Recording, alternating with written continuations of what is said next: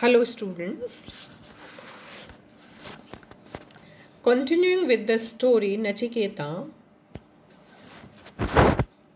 For the first wound, Nachiketa asked of Yama to provide his father a peace of mind and welfare. The wish was happily granted. कल हमने नचिकेता की story पढ़ी कि नचिकेता यमलोक पहुँच गया और यमराज ने उसको तीन वरदान दिए। आगे मैं आपको बताऊँगी कि which were the three boons so the first boon was Nachiketa ask to Yama to provide his father a peace of mind and welfare Nachiketa ने कहा कि मेरे फादर को, मेरे पिताजी को पीस ऑफ़ माइंड दो। और वेलफेयर दो, उनका कल्याण करो। The wish was happily granted and for the second he asked of the god of death knowledge of the way to heaven where there is no sickness poverty old age और death second boon उसने क्या मांगा? बून कहते हैं वरदान। Second जो वरदान था, वो यमराज से क्या मांगा? नचिकेता ने कि god of death who is the god of death Yamraj is the god of death knowledge. He asked of the god of death knowledge of the way to heaven, कि स्वर्ग में कैसे पहुँचा जाए where there is no sickness ये कहा जाता है कि कोई बीमारी नहीं है स्वर्ग में पॉवर्टी नहीं है, गरीबी नहीं है ओल्ड एज नहीं है डेथ नहीं है। स्वर्ग में ऐसी इन चीज़ों के लिए कोई जगह नहीं है।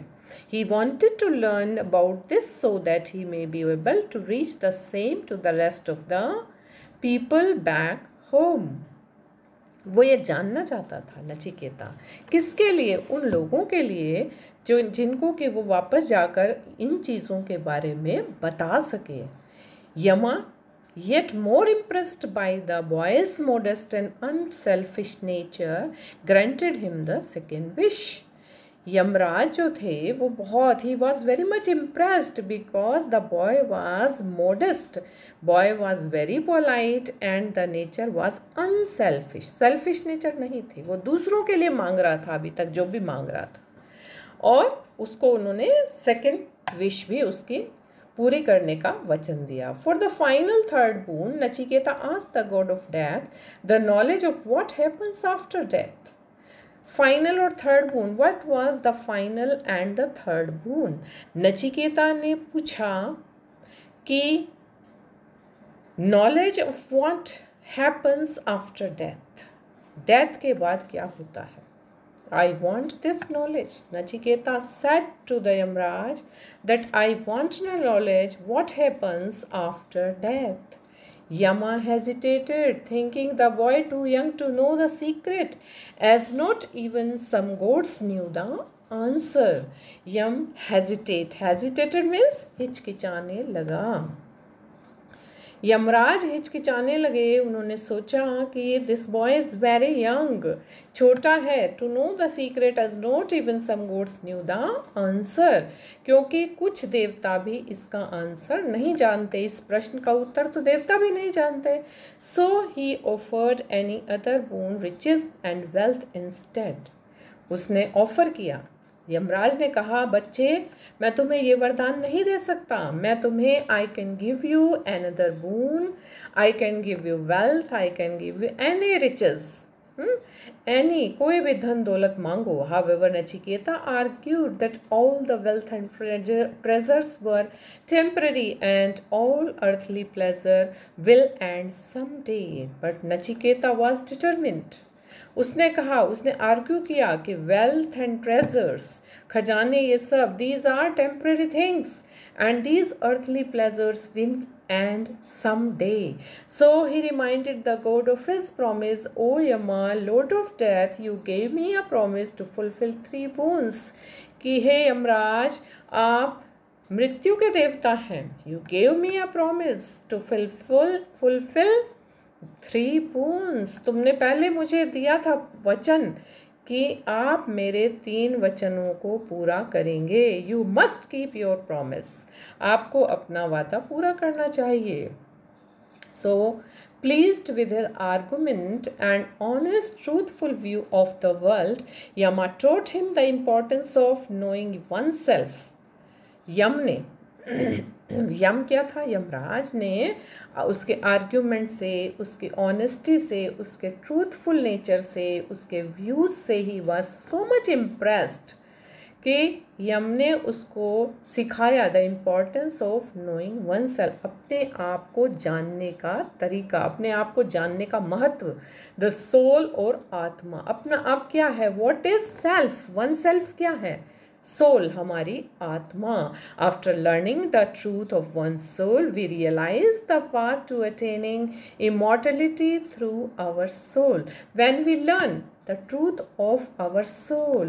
When we learn what is the truth of the soul, we realize the path to attaining immortality.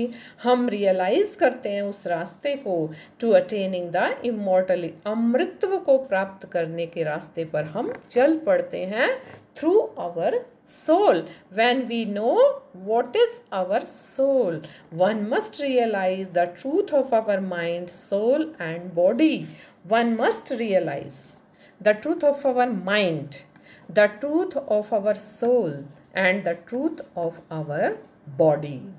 हमको रियलाइज़ करना है सबको हमें जानना है इसका ज्ञान प्राप्त करना है the higher knowledge can be attained only when we learn to rise above the petty materialistic desire of the body and the higher knowledge जो हमें हायर नॉलेज अचीव करनी है that can be attained attained means प्राप्त की जा सकती है।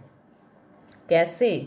जिससे कि हम वी लर्न टू राइज जिससे जब हम वो नॉलेज प्राप्त कर लेते हैं, आत्मा का ज्ञान हमें, आत्मज्ञान प्राप्त हो जाता है तो हम इन petty materialistic desires of the body petty means छोटी छोटी मटेरियलिस्टिक जो डिज़ायर्स हैं हमारी बॉडी की, इनसे हम ऊपर उड़ जाते हैं, है?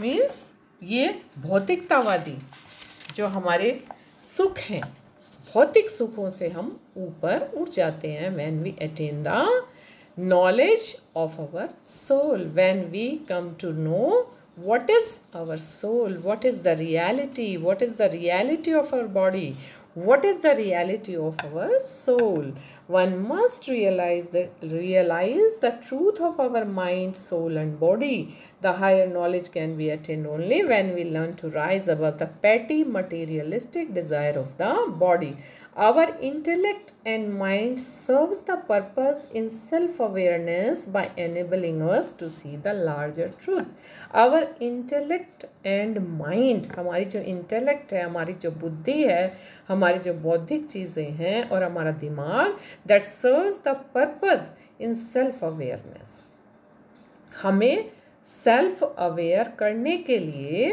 वो एक रास्ता दिखाता है। बाय एनेबलिंग अस वो हमें एनेबल करता है, वो हमें इस काबिल बनाता है to see the larger truth कि हम बड़ी बड़ी सच्चाइयों को देखें, सच को पहचान लें One must learn to separate our soul from the body only when do we realize the existence of our soul and that is the only thing which remains after our body perishes in death.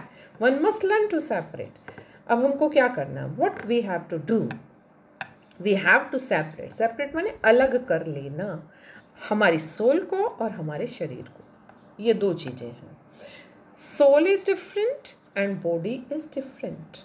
Only when do we realize the existence of our soul and that is the only thing उसी के बाद हम अपनी soul का existence what is our soul why do our soul exist in this world so उसके बाद हम जान सकते हैं what is the meaning what is the real meaning of the existence of our soul and which remains after our body perishes in death और जो बच जाती है सोल कभी नहीं मरती।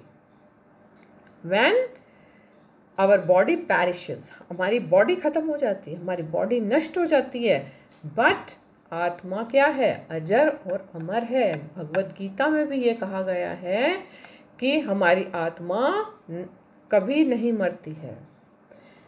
Soul never dies this is stated in Bhagavad Gita also when the body dies our soul continues to exist हमारी body समाप्त हो जाती है। The body dies and goes from this world but our soul continues to exist this is the ultimate truth exist मैंने रहती है। हमारी soul यहीं पर संसार में रहती है। It is existing having attained this enlightening wisdom Nachiketa became free of the cycle of births और इस enlightening enlightening means what is enlightening ज्ञान के चक्षु खोल देने वाली that gives light of wisdom having attained ऐसी जब उसने प्राप्त कर ली, ऐसी शक्ति, ऐसी ज्ञान उसको प्राप्त हो गया नचिकेता को।